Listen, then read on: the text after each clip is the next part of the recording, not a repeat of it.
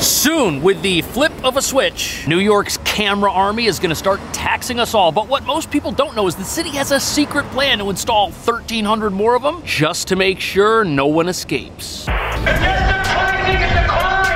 The New York City Department of Transportation wants to increase the number of red light cameras across the city by a lot. I know there are some people who say, oh, this is just a revenue raise. It's not about revenue, it's about keeping people alive.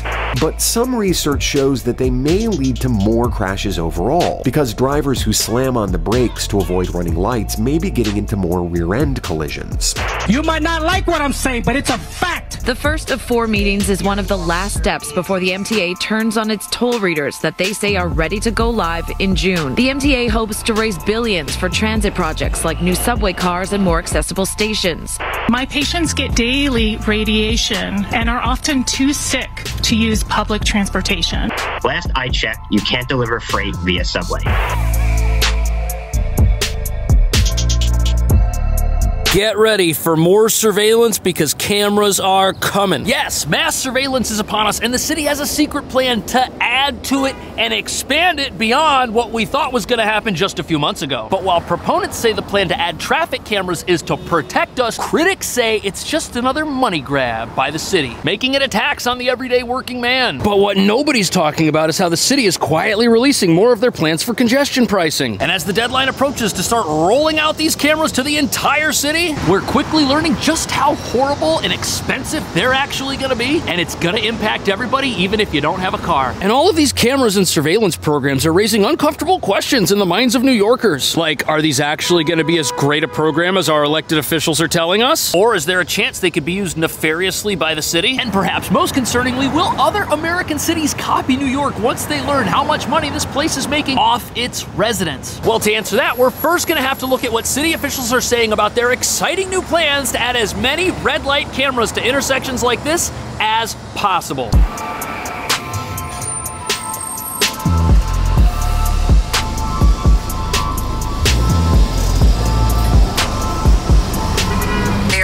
Department of Transportation wants to increase the number of red light cameras across the city by a lot. Yeah, currently, those red light cameras are installed at 150 intersections, giving out nearly 2,000 tickets per day. So here we have our first new type of controversial camera that the city greatly wants to expand. Now, mind you, red light cameras in the city started as a pilot program affecting only a small number of intersections, and now they want them everywhere. On top of that, these stoplight cameras are controversial in different ways than the automatic tolling traffic cameras, which we'll get into. But once you understand that the local government here not only controls the timing of the traffic lights, how long the light stays yellow before it turns red, and that they get all the money from these red light cameras, a very frightening picture starts to emerge. Plus, nobody's talking about how they may not actually make streets safer, but city officials really want more of these. They say that traffic fatalities are up, which is true, and there's a lot of pedestrians in New York who very well may benefit from less drivers running red lights. There are about 14,000 signaled intersections, yet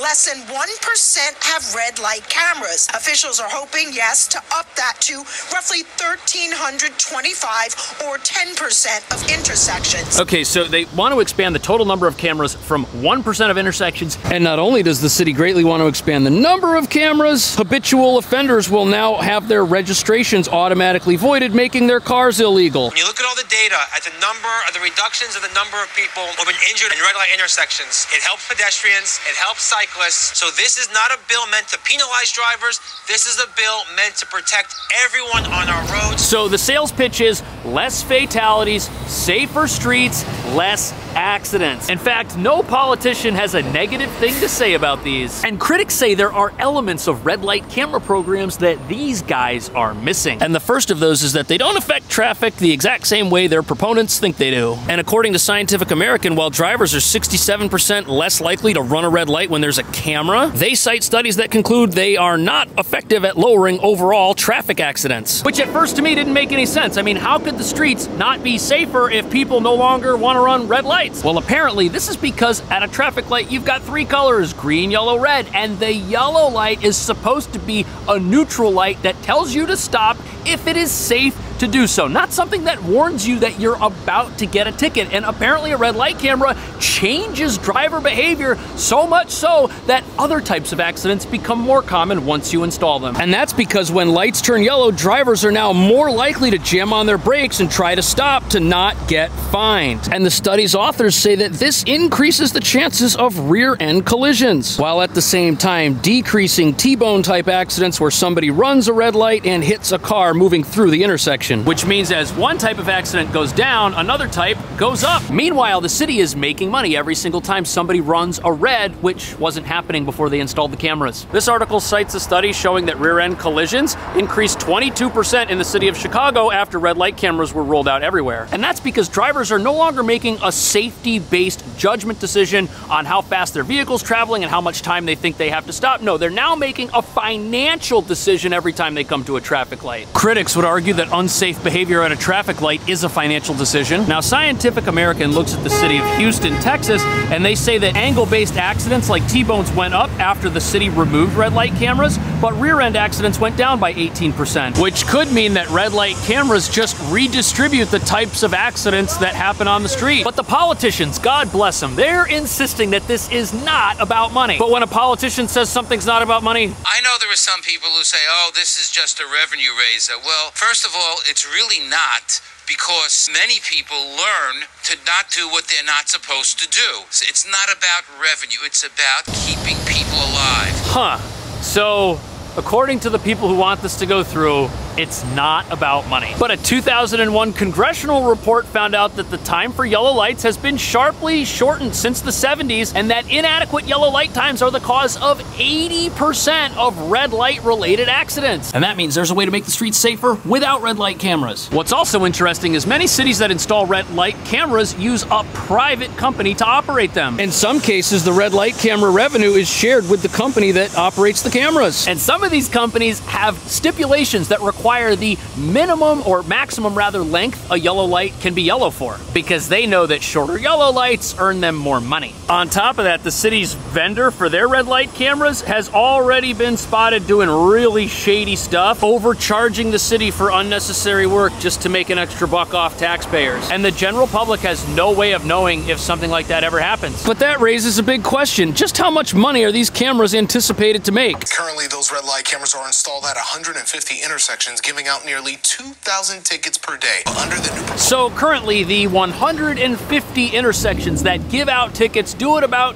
2,000 times a day, negating the argument that as you put these into service, people will start to obey red lights further. But 2,000 traffic tickets a day over 150 cameras is about 13 each. But that means if the city goes from 150 to 1,300 cameras, the total number of tickets written per day will be 17,000. And if each of these earns $50 every time it happens, that's how much money the city is gonna make every single day. But it's not about money. It's not. It's not about money. No way. Don't even think about it. That's the yearly total if you're curious. And these numbers are based on the current timing of the city's yellow lights. Again, remember, if that time changes, the city could make varying amounts of money depending on how they work the traffic patterns. I'm not suggesting that's actually going to happen, but the opportunity for foul play and unaccountability is definitely there. And it's probably worth mentioning that as a pedestrian who's not driving, even if traffic accidents overall don't change, because they are no longer red light related accidents that could put pedestrians at risk, maybe that's an overall benefit to the program is that accidents are now only driver related. Either way, critics are saying this is just another tax on the poor because the $50 fee is paid by everybody. $50 doesn't matter much to Elon Musk or Mark Zuckerberg, but it does matter significantly to people who work normal jobs and may make less than $50 an hour. But speaking of unaffordable, in just a few months, the city is going to flip the switch on its controversial congestion cameras. And critics say once they do that, all of us are going to end up paying for it, whether we have a car on the road or not.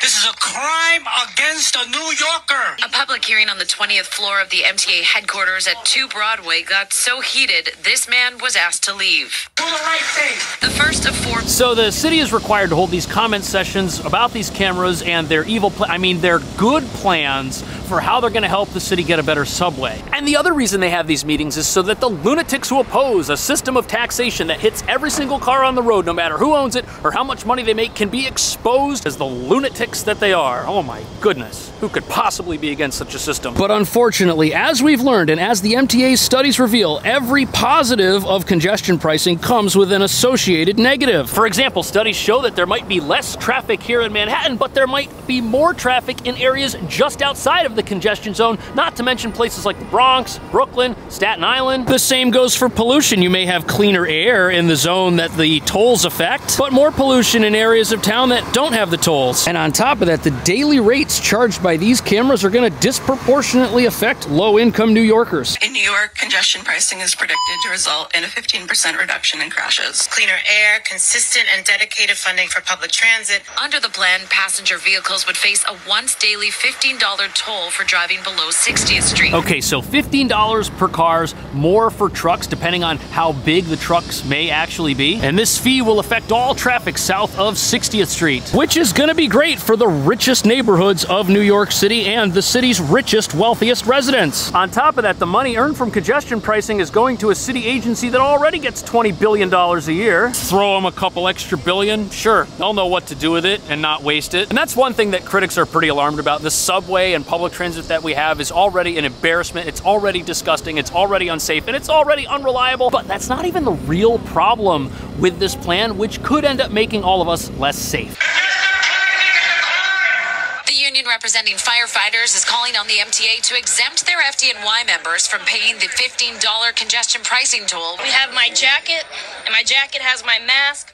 FDNY union reps also say their equipment is covered in dangerous chemicals they say is not safe to carry on public transit. Okay, so I think this is where we need to draw the line. Forcing first responders to take the train with all their equipment, do we really want to do that? Especially firefighters with all that heavy stuff? I couldn't carry that. Look at all these empty police cars and nobody driving them around. We've already got shortages of first responders. And the fact that the city's going to tell its own employees who it already doesn't pay very well to haul all their stuff on the train. And look, usually I'm not one for advocating that somebody gets better treatment by the government because they work for the government. That seems unfair. It is unfair. But if we're not going to pay our cops and our firefighters and we've got shortages of them and now we're just going to make their lives tougher, I don't know. And the other problem with these cameras is that if you don't have a car, your life could still get more expensive because your food doesn't get an exemption from the tolls either. Adding a congestion fee to truck trips every time they enter the CBD will primarily hurt New York's small local trucking companies who cannot afford to absorb these costs. Last I checked, you can't deliver freight via subway. Under the plan, passenger vehicles. So trucks, they already pay a higher toll, and most distribution facilities aren't located inside the congestion zone. So it's not like there's a Whole Foods in Manhattan and then there's a distribution center nearby where the trucks kind of travel to and from. No, it all takes place outside of the city. And these stores are getting replenished multiple times a week, and critics say the truck drivers are just going to pass this cost along to the people who receive their goods, who are then going to pass it along to consumers, who end up paying more for things like vegetables and milk. And what that could mean is the big trucks and cars that cause congestion don't suffer at all from these tolls. And this whole thing literally could be a way to get money from residents who don't actually drive a car at all and don't actually think that the congestion pricing is their problem. The MTA hopes to raise billions for transit projects like new subway cars and more accessible stations. The funds from congestion pricing will pay for more accessibility for people with disabilities,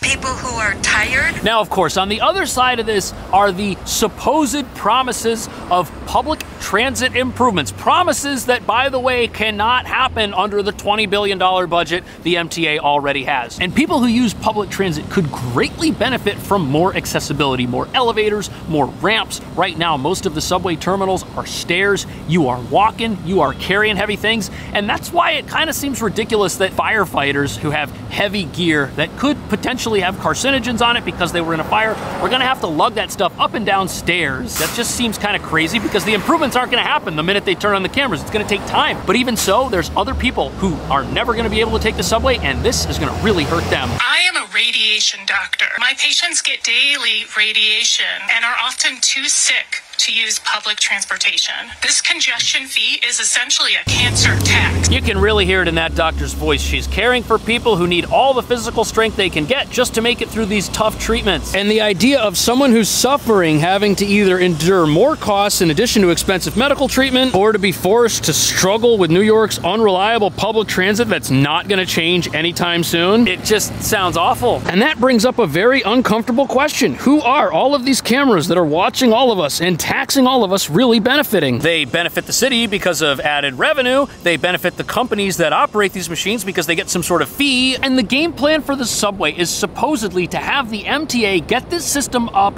operational and then go take out loans, incurring more debt so that they can get a massive amount of money right now to start improving the subway, which is going to take a very long time and might actually put the MTA in a worse position later because they're going to have to service all of the extra debt. And the subway we already have is subpar with billions being spent just to maintain it and keep the few trains that we have running on a reasonable schedule so that the city just doesn't shut down. Personally, I don't care if we have a fancy new subway. I just want trains to show up quickly, on time, with no delays, no signal malfunctions, and I would like to see police in the train keeping people safe. That shouldn't cost billions of dollars, and it shouldn't require new taxes to accomplish something like that and get a basic bare bones system like that. That's something that a lot of commuters would probably appreciate. But what do you think the city should do? Do you think these cameras are the answer? Do you agree with red light cameras? Do you agree with traffic cameras? Let me know. Thanks for watching. I'll see you in the next video.